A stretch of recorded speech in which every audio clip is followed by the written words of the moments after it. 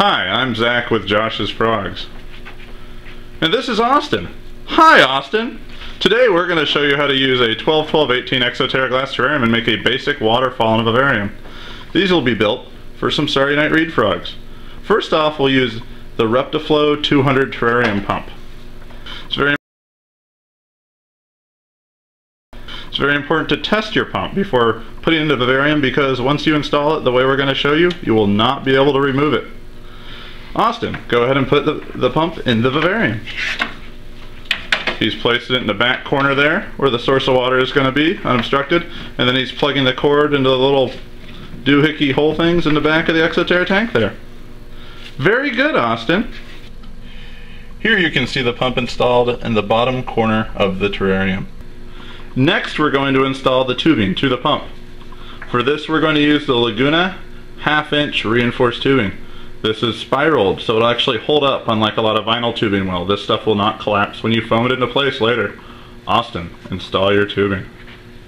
Now the, the tubing is shoved firmly into the pump. Notice the tubing length we're installing is actually about 6 to 8 inches longer than what we'll actually need there. Just so we can position it properly and then we'll shave off the excess after the foam is hardened. You want a little extra tubing sticking out of the background when you foam it to make sure that it, the end of it does not get covered with foam or else you will be in trouble. Next, we'll install the planting rock, available on joshsfrogs.com. We just recently started carrying this product and we're very excited. It's realistic and it's actually designed to plant live plants directly in there. So Austin, go ahead and put the planting rock in the terrarium. We're going to be placing this planting rock along the bottom there, or what will be the bottom in the future. Actually act as a retaining wall that'll hold back our gravel substrate we're going to surround the plant with and the pump width, and it will make a nice little clip there, you see. Now ready to begin positioning the fake rock background in the tank. Insert any fake rocks, pieces of cork, other pieces of wood like that one at a time, using them to kind of hide and support each other. Let them hide the cord, hide the hose. Make sure you don't put too much weight on the hose so it doesn't kink, even though with this stuff we have here it shouldn't kink. Uh, make sure when you're positioning the rock work that it kind of supports each other, even though you will be foaming this into place, and that you're positioning the hose so you'll eventually, after it's foamed into place, you'll be able to position it the way it is after the foam hardens up. There we go. Beautiful, Austin. Austin is now ready to spray foam the background in place.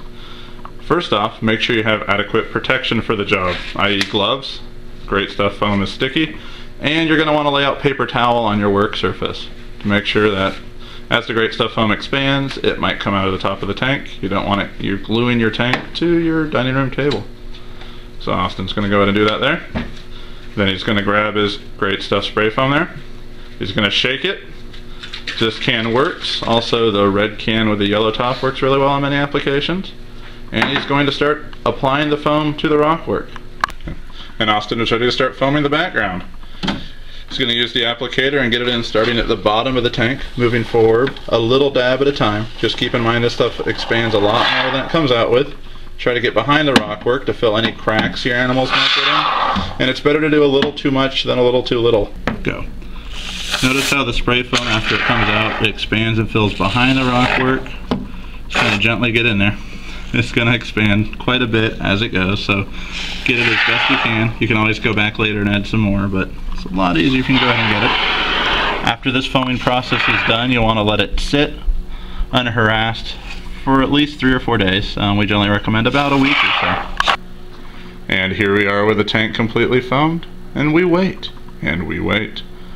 Three days four days five days seven days until the foam is fully cured. Using a serrated kitchen knife, go ahead and cut the foam, roughing up the surface. After the foam is cured, it is smooth on the outside. You want to make sure you cut it, removing any excess foam, and you'll leave a rough cut surface um, exposed, which the silicone will stick to much better.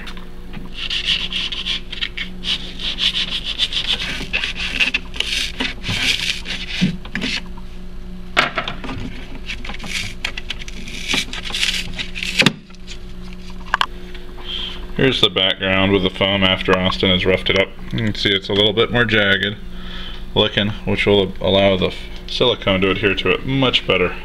Now Austin is ready to apply silicone to the background. Austin, don your gloves.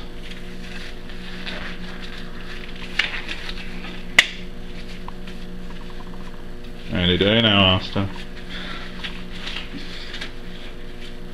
Good job. Now, Austin, will apply GE Silicone 2 window and door in brown color on the back of the foam. He globs on a bunch initially, and then he's going to use his hands to spread it. Make sure you work it in over all the cracks and crevices. Try to make sure you cover all exposed foam.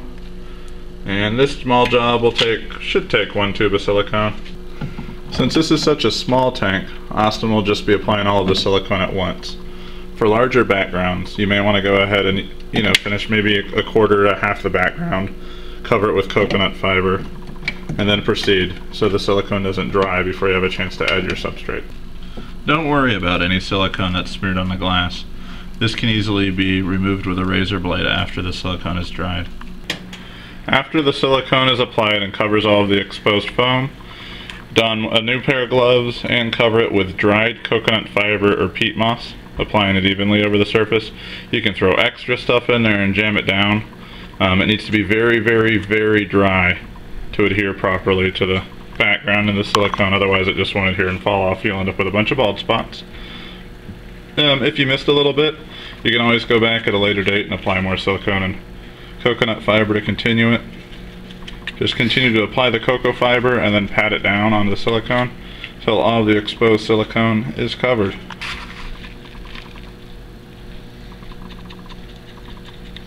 Make sure you're ducking the cocoa fiber into all the little nooks and crannies. The stuff that adheres to the silicone will stay there, and when you stand the tank vertically, the stuff that's not adhered will obviously fall out. You can also use a shop vac to suck off and remove any excess cocoa fiber or peat moss. We generally recommend letting the tank sit for at least a day or so until you try to remove any of the cocoa fiber. And give the tank several days before planting. You want the silicone to be completely and utterly cured. Um, generally when silicone's curing it'll have kind of a vinegary smell. So you want to make sure there's absolutely no odor to the odor to the tank at all before you put in substrates and put in plants and obviously introduce any animals. To check and see if the silicone is cured, stick your head in the tank. If it smells like vinegar, the silicone is not cured and leave it set for a few days before you try again. Using a razor blade, go ahead and scrape any excess silicone off of the glass that you smeared on there. It should come off very easily.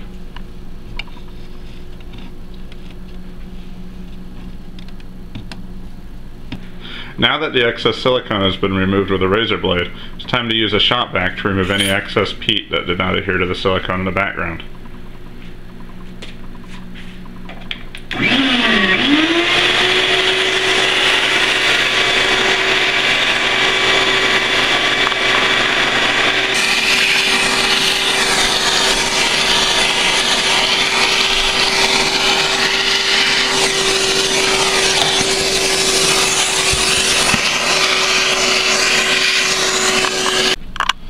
Finally, use a razor blade to remove any excess hose that's left over.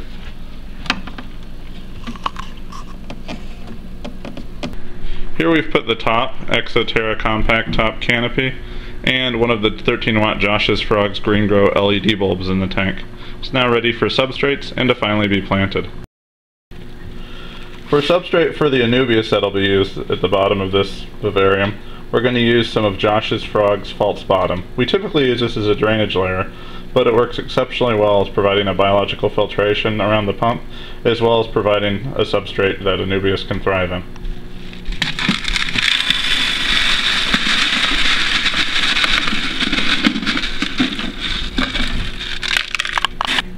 Anubias are great plants for terrariums and paludariums, especially around water features. We grow several varieties right here at Josh's Frogs.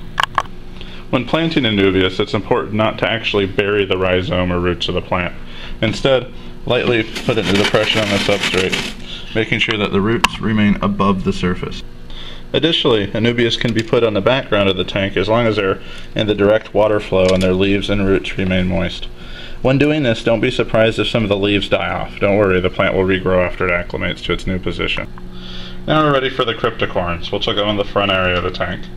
At Josh's Frogs, we work with two basic forms of cryptocoryne wendtii. The red variety, which looks reddish and bright light, and then the green variety, which is a much, much brighter green color. The substrate that cryptocorynes required is quite different than Anubias. We prefer a mix of peat and tree fern. We'll put them in this rock planter here at the front. First put a very thin base layer down.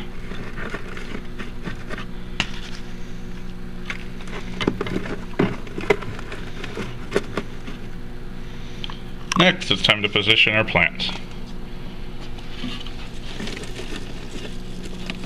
Try to avoid damaging the roots if you can, but these guys are pretty tough. Now that the cryptocorynes are in place, gently pack substrate around them. Now we're ready for some Exoterra riverbed sand along the front of the vivarium. Austin's going to cut a corner off the bag and pour some of the sand into the cup. We do not recommend pouring sand directly from the bag into your tank. It's a lot easier to control if you pour it into a smaller container first. This is a very, very fine sand that will not cloud the water too bad. It's also very heavy. Now use the cup and simply add it to the bottom of the water feature. Careful not to get on any plant leaves, it's kind of a pain in the butt.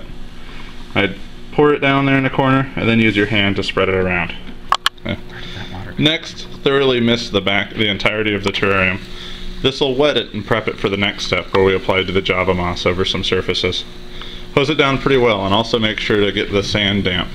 If the sand's already damp, it'll be a lot more likely not to float and it will stay in place better when we add water after we've moved the vivarium to its final resting place.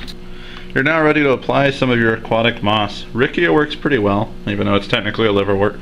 We prefer Java moss. It's widely available, and best part about it, it's cheap. So you want to slow, carefully divide up your Java moss into smaller pieces. Then you can apply those over where the waterfall is going to flow. You want to shove those over any surface that's going to remain damp because of water movement in the tank. Over time, after the Java moss takes hold a little bit, it'll actually spread throughout the tank and cover some of the drier areas as long as its base starts out in a wet area. You can put it over the surface of the sand, over the substrate that's holding your plant, and it will over time spread and take on a very, very nice appearance. After you're done applying the Java moss, make sure you relo relocate the tank to its final resting place. Then you can add water to the bottom of it. Add the water slowly, a couple cups at a time. Don't pour it directly on the sand or else it'll move it too much out of place. After several inches of water has been added to the bottom of the tank, ready to plug, plug the pump in for the first time.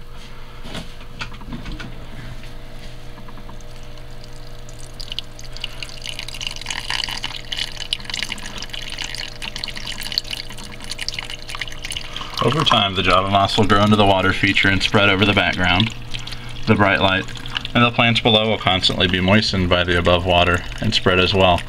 We recommend giving your tank at least a few week growing time, if not longer, before adding frogs. For this tank, um, Starry Night or Blueback Reed frogs would be a perfect addition down the road.